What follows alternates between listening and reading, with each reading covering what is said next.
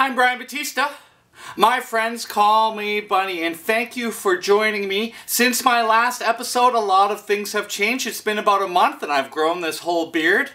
Uh, if you watch my episodes, you'll know that since the last episode and I returned from Portugal, my camera equipment and computer were stolen. Now, up until this point, it's been difficult, but I have scrounged enough money together where I've bought myself a new laptop in order to edit these videos. And I borrowed a camera. Thank you, Quick Draw Animation Society, for the use of the camera for this episode. This is episode 31, and I'm calling it Fresh Start. And you'll see maybe in the blurry background that the fresh start that I'm speaking of is creating and stretching and priming some new canvases behind.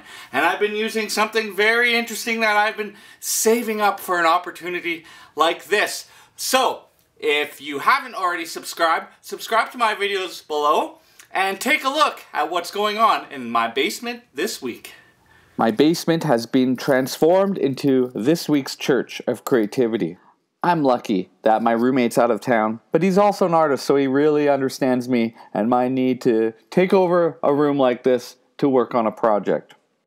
And it's Thanksgiving weekend, so not only do I have time, but I also have a lot of things to be thankful for. I am fortunate in that classes are beginning this semester, and I am teaching a master painting course at the Alberta College of Art and Design. And on the first day of this course, I teach how to build proper ground and support for your painting. Well, after the class, I decided to bring all the gear home and I rolled out a drop cloth and I built some new supports and stretched some canvas. I had some gesso that I needed to use up, and halfway through the project, I realized that I needed to go buy some more, so I ran down to Swinton's and picked up a gallon of pretty good quality gesso, which we'll call the size, which is what I'm using as my first coat to prime it. Back in the day, they used to use rabbit skin glue. And the point of this step is really to protect the cotton fibers of the canvas from the more caustic materials that you're going to be applying when you paint.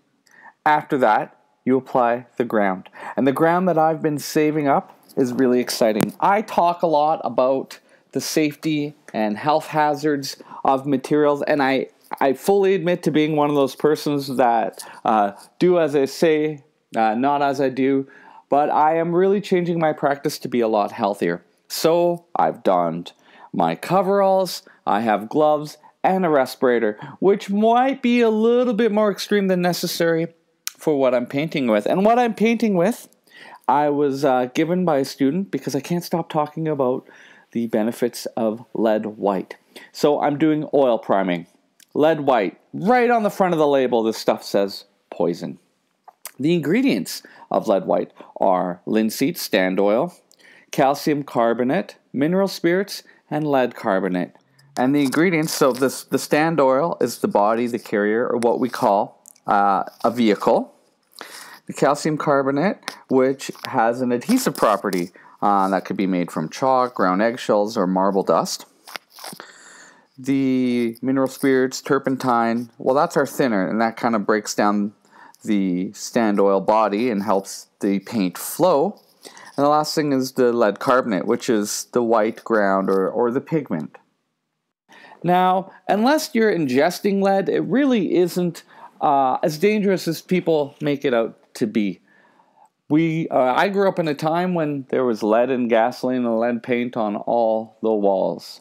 We know a lot better today, so we can act accordingly. But it also can make getting these materials difficult. Now, this Fredrix lead white had probably been sitting in someone's garage for years. So I had to reconstitute it by breaking it down back into its components and mixing it together again. And I made a beautiful slurry. Now, lead white, when I'm first painting it, does look a little bit yellow, but as it dries over time, it is a beautiful white. Something that I didn't know about lead white, which we also call flake white. Now, for me, flaky people drive me a little bit crazy. But lead white or flake white happens to be the most flexible. So, in a way, I'm looking now at my definition of flaky. I'm thinking, geez, you know, flaky is actually kind of a good thing because it means that you are flexible. Thank you for joining me and seeing some of the progress. I hope you join me again for the next episode. Ciao for now.